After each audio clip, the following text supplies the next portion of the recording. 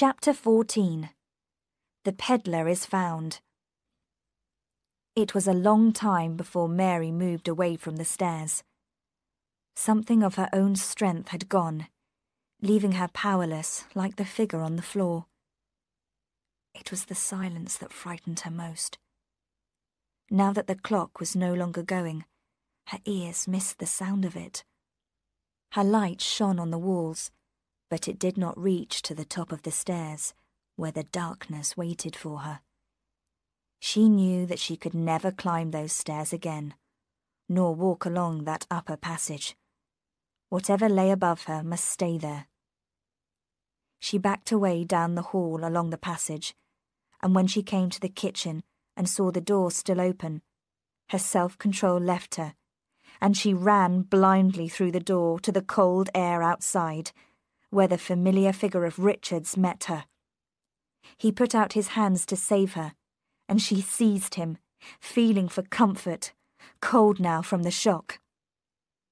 He's dead, she said. He's dead there, on the floor. I saw him. And although she tried hard, she could not stop shaking. He led her to the side of the road, back to the carriage. Has your aunt gone? he whispered. Mary shook her head. I don't know. I didn't see. I had to come away. He saw by her face that her strength had gone. All right then, he said. All right. Sit quiet then. No one shall hurt you. There now. His rough voice helped her, and she sat close beside him. That was no sight for a girl to see. You should have let me go. I wish now you'd stayed back here in the carriage. That's terrible for you, to see him lying there, murdered. Talking helped her. The horse was still in the stable. I listened at the door and heard it moving about. They had never even finished their preparations for going. The kitchen door was not locked and there were packages on the floor there, ready to load into the wagon. It must have happened several hours ago. I don't know what the magistrate is doing, said Richards. He should have been here before this. You should tell your story to him. There's been bad work here tonight. They fell silent, and both of them watched the road. Who could have killed the landlord? Said Richards, confused. He can deal with most men, and should have been able to defend himself. There were plenty who might have done it, though. If ever a man was hated, he was. There was the peddler, said Mary slowly. I'd forgotten about him.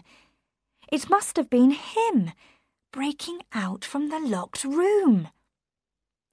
She seized on this idea to escape from another, and she retold the story, eagerly now, of how the peddler had come to the inn the night before.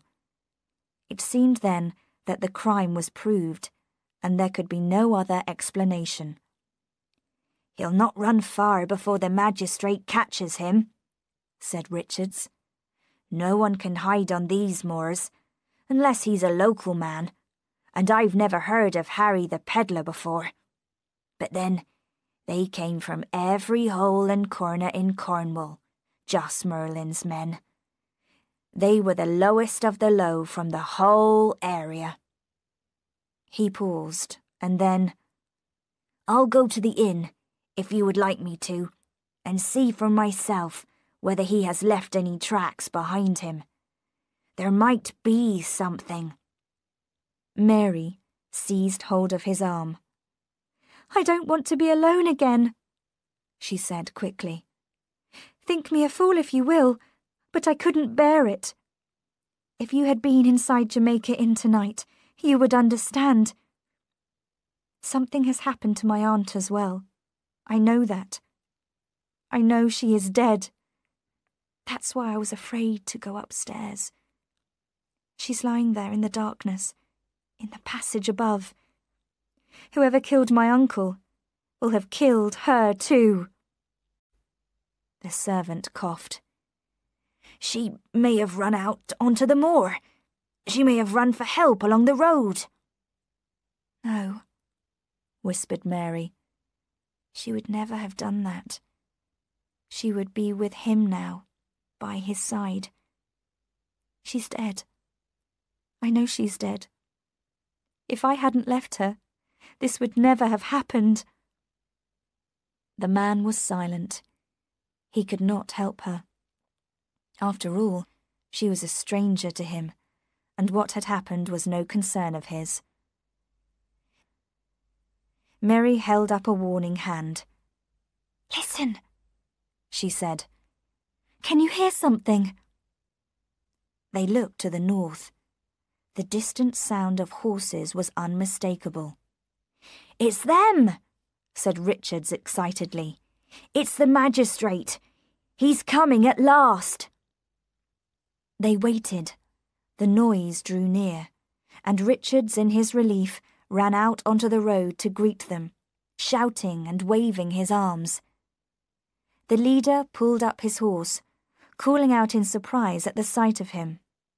What are you doing here? he shouted. It was Mr. Bassett himself. He held up his hand to warn his followers behind. The landlord is dead! Murdered! cried his servant. I have a young relative of his here with me in the carriage. It was Mrs. Bassett who sent me out here, sir. He held the horse for his master, answering as well as he could the rapid questions put to him. If the man has been murdered, he deserved it, but I'd still rather have put him in chains myself.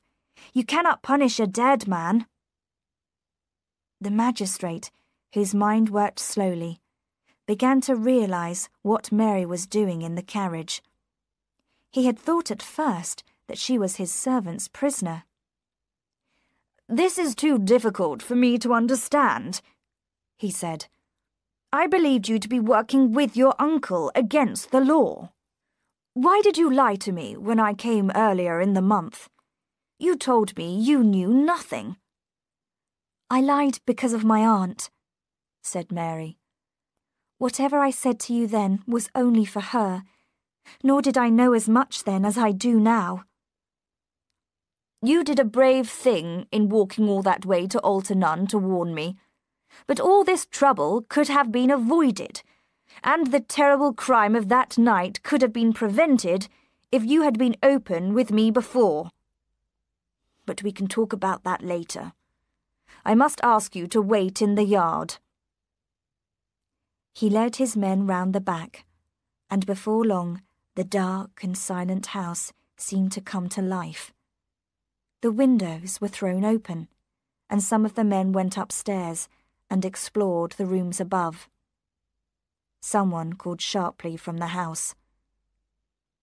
After a time, the magistrate himself came out into the yard and walked over to the carriage.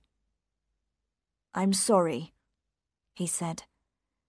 I have bad news for you. Perhaps you expected it. Yes, said Mary. I don't think she suffered at all. She was lying just inside the bedroom, at the end of the passage. Killed with a knife, like your uncle. She could have known nothing. Believe me, I'm very sorry. I wish I could have kept this from you. He stood by her awkwardly, and then, seeing that Mary was better left alone, he walked back across the yard to the inn. Mary sat without moving, and prayed in her own way that Aunt Patience would understand what she had tried to do, and would forgive her and find peace now, wherever she might be. Once again, there was excitement in the house, shouting and the sound of running feet. There was a crash of splitting wood, and the shutters were torn away from the windows of the locked room, which no one, it seemed, had entered until now. Then round the corner of the yard they came, six or seven of them, led by the magistrate, holding among them something that fought to escape. They've got him! It's the murderer! shouted Richards. The prisoner looked up at her, his face and clothes dirty. It was Harry the peddler.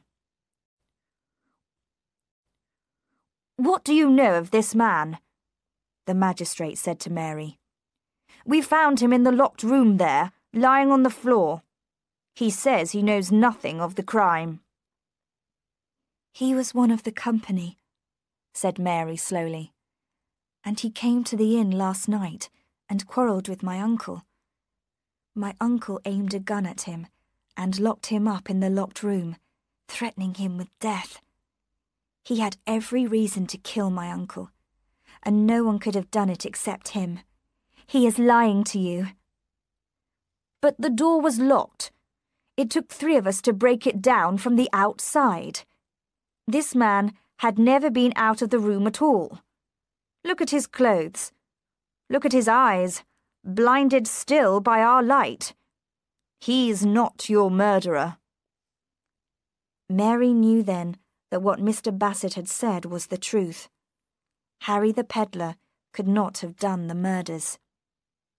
We'll have him in prison, in spite of that, and hang him too, if he deserves it, which I'll swear he does. But first, he shall give us the names of his companions.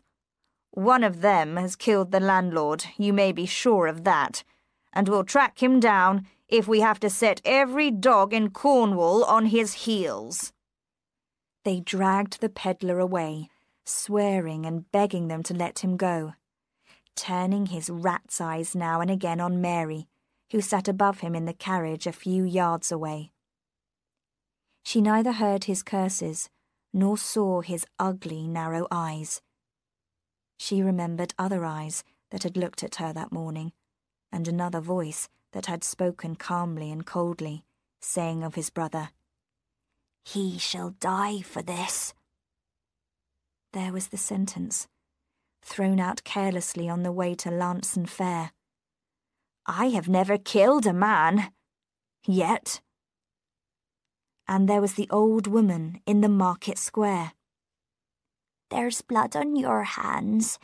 You'll kill a man one day. All the little things she wanted to forget rose up and shouted against Jem. His hatred of his brother, his cruelty, his bad Merlin blood. He had gone to Jamaica Inn as he had promised, and his brother had died as he had sworn. The whole truth was there in front of her in its ugliness. He was a thief, and like a thief in the night, he had come and gone again. When morning came, he would jump on a horse and ride away out of Cornwall for ever, a murderer like his father before him. In her imagination, she heard the sound of his horse on the road, far away in the quiet night. But the sound she heard was not the dream thing of her imagination, but the real sound of a horse coming towards her. She turned her head and listened. The sound of a horse drew nearer still. She was not alone now as she listened. The men looked towards the road, and Richards went quickly to the inn to call the magistrate. The sound of the horseman was loud now as he came over the top of the hill, and when he came into view, Mr. Bassett came out of the inn. Stop! he called. In the name of the king, I must ask your business on the road tonight. The horseman turned into the yard. When he took off his hat, his thick hair shone white under the moon, and the voice that spoke in answer was gentle and sweet.